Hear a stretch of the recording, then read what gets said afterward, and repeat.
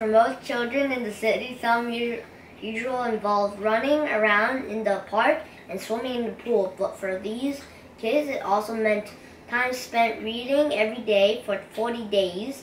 As part of assembly, woman let let let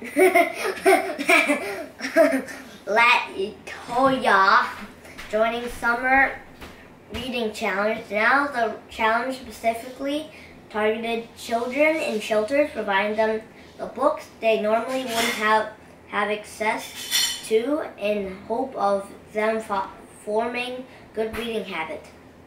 Now the certificate was presented as part of the reading read to succeed garden party, which also included face painting, a magic show, and other fun activities. It is safe to say that all that is well deserved. Alex, Alex, no. Sonia. What? Alex, go. For News 12. Alex, no for news. Hmm, you